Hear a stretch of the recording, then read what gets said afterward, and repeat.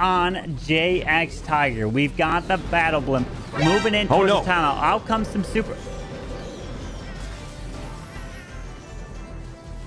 Uh...